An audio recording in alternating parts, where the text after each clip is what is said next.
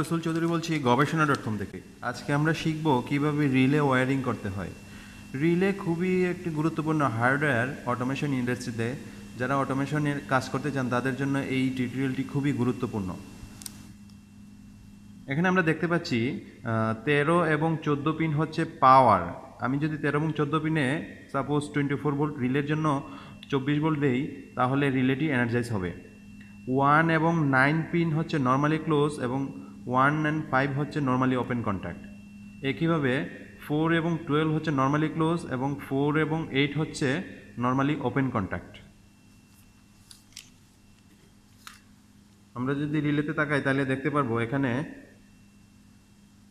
Relay diagram দেওয়া আছে।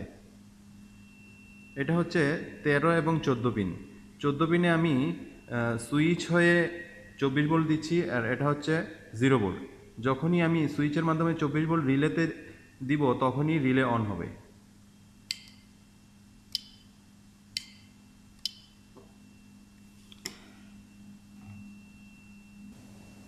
এখন আমরা রিলের এনও কন্ট্যাক্টে ফাইভ এবং নাইন ফাইভ এবং নাইন এনও কন্ট্যাক্টে আমরা একটা লাইট যুক্ত করেছি টু টোয়েন্টি ভোল্ট রিলের মাধ্যমে।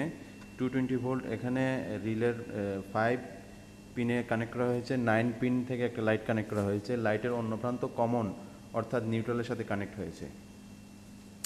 এখন আমরা যদি সুইচ চাপি তাহলে দেখতে পাবো লাইটটি অন হয়েছে রিল এনার্জাইজ হবে।